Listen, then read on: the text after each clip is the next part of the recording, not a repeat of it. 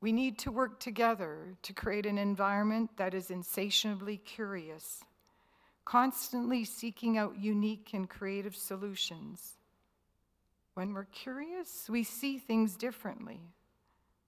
That's what I believe is going to take in order for us to build long term public trust. Studies also show that intelligence and curiosity improves learning and helps social relationships. So now in front of this large, wise, media-savvy crowd, I want to share with you some of my commitments to cultivate that curiosity. My first one is to use curiosity to improve myself rather than to prove myself.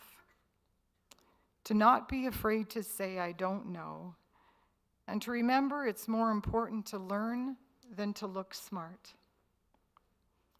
To reframe boring situations. I now really want to make an effort to turn that boring situation into something meaningful and give attention to something I usually miss. The third is to ask questions. Neil deGrasse Tyson said, The people who don't ask questions remain clueless throughout their lives. To ask questions, to stay away from those that be, can be answered by yes or no. I should use the five W's to create openness for the person being asked and for myself. And the fourth is to be present. As my sister says, to disconnect, to connect. Turn off the phone and focus on the conversation. Avoid the temptation to multitask.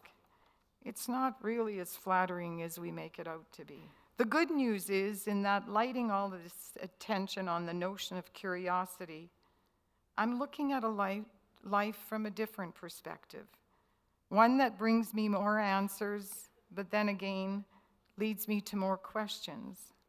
One that allows me to participate more fully and to appreciate people's life stories. So the ending is may I never be cured of my curiosity. It's been a pleasure.